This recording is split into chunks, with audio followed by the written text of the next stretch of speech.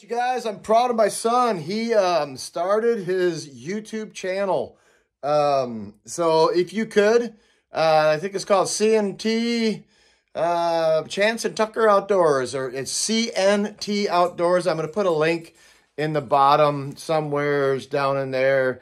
And if you could, go ahead and click on a subscribe to his channel, get him started. I think he has like two subscribers right now.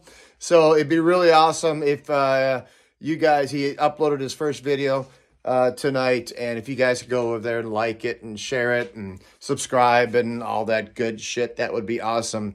I would really, really appreciate it. I love my son and he's an amazing young man. So good job, Chance. Let's get into this video. All right, y'all. I talked to Bill Duke and uh, he sent me one of his wolf traps. Um, and Bill, I tell you what, I appreciate you. Um, you have done more for the trapping community than any other trap maker that I know of. You've been giving traps to kids for so long, um, uh, long as I can remember. I remember back in Tennessee, you sending dozens and dozens of traps to uh, get um, young young boys and girls started trapping. So I appreciate you. Um, a few years back, Bill came out with the six fit or the 850 um, and called it a wolf trap. And yep, I mean mouthed it. I did. And um, I caught shit for that too. But um, I truly didn't think it was a, a, the trap, the prototype that I got, I didn't, truly didn't think it was a wolf trap. And, um, and it worried me that people were going to be using it thinking it, it was a good wolf trap. And, um, I was, what I was worried about is wolves pulling out, getting toe catches and, and whatnot. There was no way to go ahead and, um, and tighten the pan tension the prototype that I had um, had a real weak spring and whatnot. But Bill and I talked about it, and um, he asked me what I thought and and what I thought it needed. And uh, one was a, a pan tensioner, and uh, he came up with that, and uh, and he added uh, heavier springs to it. So uh, now um, I believe it's a wolf trap, and um, um, Daniel Peters has been using them up in Alaska. So these are the things that he changed. And he sent me one of his traps today with, uh, I got it in the mail um, yesterday, I think it was.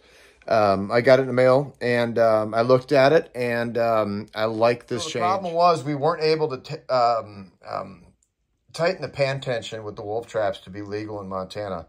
Um, and so now we are able to tighten those pan tensions. Um, and you can snug it down so tight that um, you will not be able to set the trap off. Um, what I did to the trap, uh, this is the one he sent me.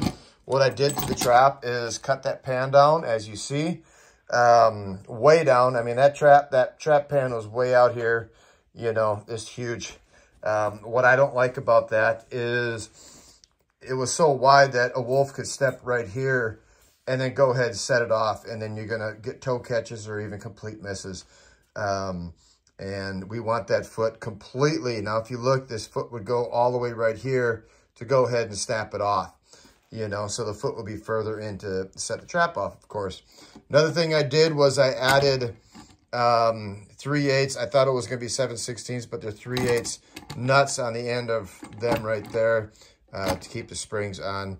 Because when the wolves go ahead and bite on these traps, of course, they could pop these springs and then, then they're done. But I'm going to pick me up a dozen of these next year. And I got a half a dozen right now that I've modified my way.